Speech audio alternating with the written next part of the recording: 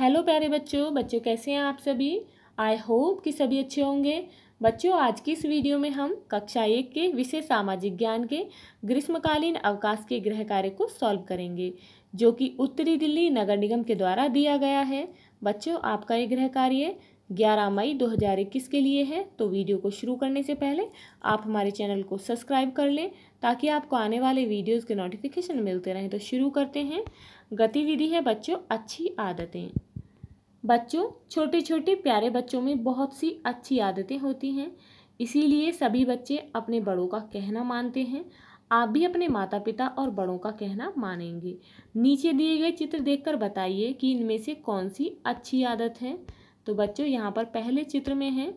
ये जो लड़की है, ब्रश कर रही है तो ये अच्छी आदत है। दूसरे चित्र में बच्चों, ये जो बालक है, ये कोल्ड ड्रिंक पी रहा है, यहाँ पर बर्गर है, ये सभी फास्ट फ़ूड खा रहा है, जो कि एक गंदी आदत है।